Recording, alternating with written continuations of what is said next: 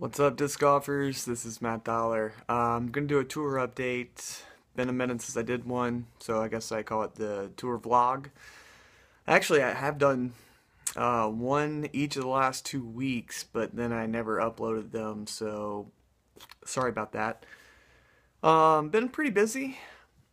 Kind of decided to take my tour in a different direction uh, after Ledgestone. I went to Indianapolis and um, had been considering maybe going and doing the East Coast tour after uh, the Disc Golf Pro Tour at Idlewild, uh, or going back home and playing some events there. But you probably noticed you didn't see me on the results at Idlewild, and that's because I decided to take a detour and uh, actually just make the whole tour the detour and went to the Midwest instead. So I played the Titan Open uh, a little over a week ago.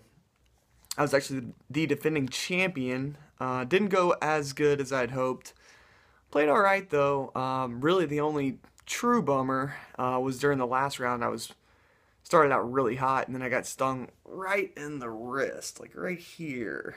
Kind of, I don't know if it went straight into a vein or what, but uh, after like two more throws, my wrist started swelling up pretty bad, but uh, still hung in there. Finished 10th at the Titan A tier, which it had a really, really good field. So 10th wasn't bad.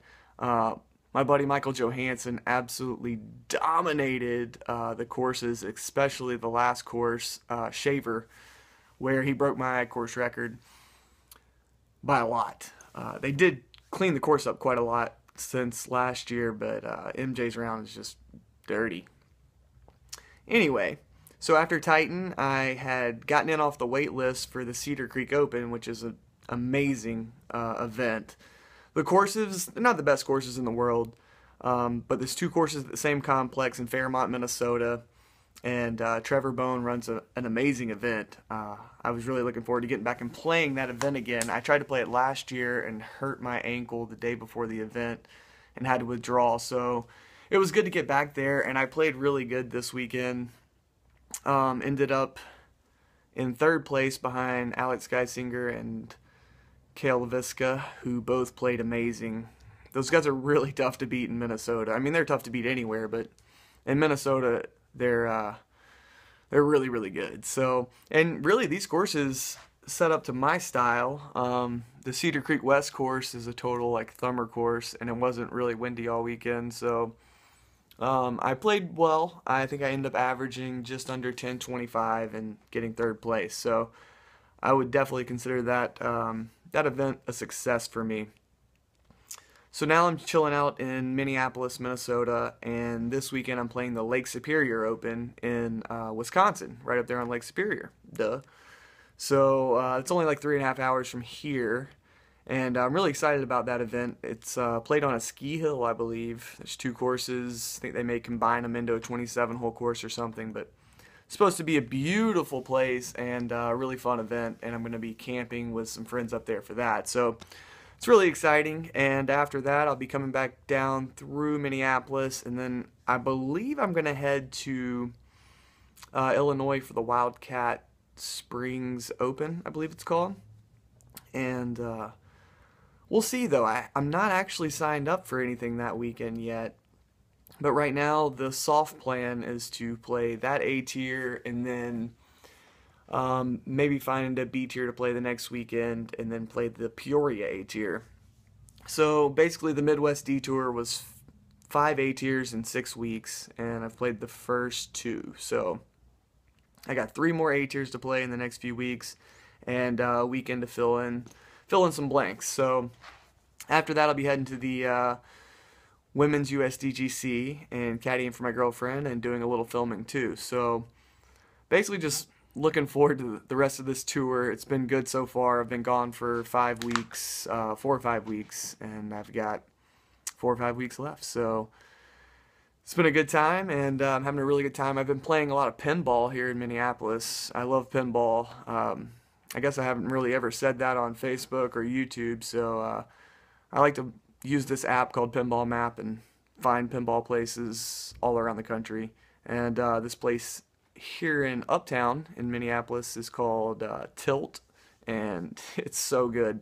A bunch of really good games, and they're all taken care of. So I'd say in the last year I've probably played about 250 machines or so. So I feel like uh, it's definitely something fun to do while I'm not playing disc golf.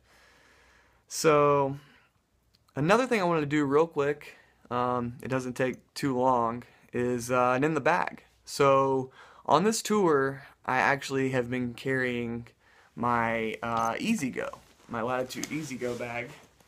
So this is my disc golf bag, and we will go through what's in it real quick. Let me take these water bottles out because they're noisy. All right, so we will start down here at the bottom with the fastest. Um, Matt Dollar stamped Gold Line Ballista. This thing made me look dumb a couple times this weekend. Uh, I keep thinking it's super flippy, and uh, it hydroed out on me, so whatever. Furthest flying disc I've ever thrown, and uh, I love it bunches. Alright, the other two drivers I have that are over speed 9 in the bag are enforcers.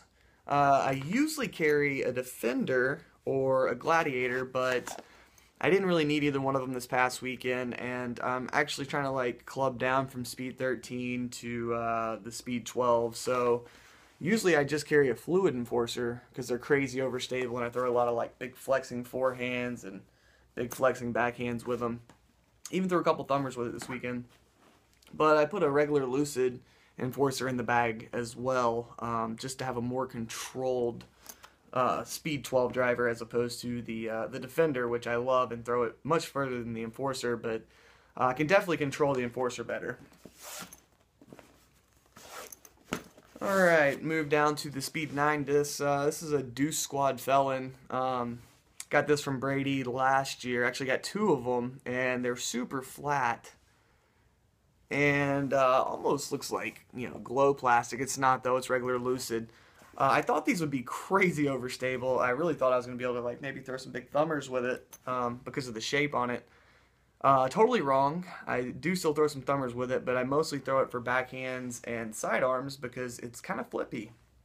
Uh, if I throw it with hyzer, it'll stand right up, maybe even turn a little too much. But if I put it on the right amount of hyzer, it always remembers at the very end of its flight, hey, I'm a felon, I should hook back. Speed 9 is like probably about my favorite range for disc um, for disc speed. So actually, I have three speed nine discs in here right now. Uh, the Felon was the first one, and then uh, then you got the Convict, uh, Paige Pierce Convict, uh, and the Lucid Plastic. Dude, this disc is amazing. It's uh, it doesn't start out super understable, but it kind of beats into understable.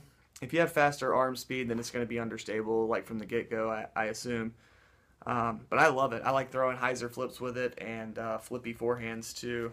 It's perfectly paired with my Elasto hatchet, uh, which is super flippy. Um, but I like to throw this hyzer flips in the woods and stuff, and then rollers, and then I even go tomahawks. But basically, anytime I have a shot where I'm like, oh, I'd like to throw my hatchet, but it's just a little too flippy, that's when I pop out the convict and throw that instead. Uh, I also interchange some Saints that uh, I have a couple gold line Saints that come in and out of the bag too. Uh, didn't really need any fairway drivers this past weekend. Uh, it was mostly putters and overhands, so and sidearms. All right, so we'll move on to the mid ranges.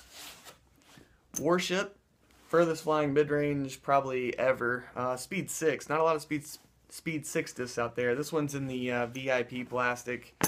Didn't get to throw it a lot this weekend. Actually, I'm not sure if I threw it this weekend. Maybe once. Um, and the reason is, it's because I was throwing this mace. This is one of the older run maces, uh, Zero Hard. And I was throwing this as my mid-range hyzer flip. This one's really beat, and uh, I throw it with a lot of hyzer, and it just flips up the flat, and then hopefully turns on over too. So uh, this was my main mid-range this past weekend. And the other one I always use as a mid-range is the Scenus. Um, this is my OG Scenus. It's seen better days. It's uh, pretty warped as you can see. Um, yeah, this is the Sports Center Scenus, the one I'm always talking about. Um, still in the bag. I really need some more old Scenuses. In fact, if you got some old uh, Scenus SPs, holler at your boy. I'll trade you for them, maybe buy them. I don't know. I need some more. I need some freshies. So hook me up. um, all right, and then uh, also the scene is not just my approach disc, but also whenever it's windy, I putt with it. Um, it's still overstable even though it's beat up, so it rides that wind really nice when I uh, putt into a headwind. Just really controllable. Really controllable. And uh, the ones I putt with the most, though, are Judges. So we got Classic Blend and Classic Blend. I actually putt with Classic Softs during the winter, but the Classic Blend during the summer is so money. Um, I actually modified my putt a couple weeks ago, so uh, you'll you'll see it eventually uh, with the future videos coming out.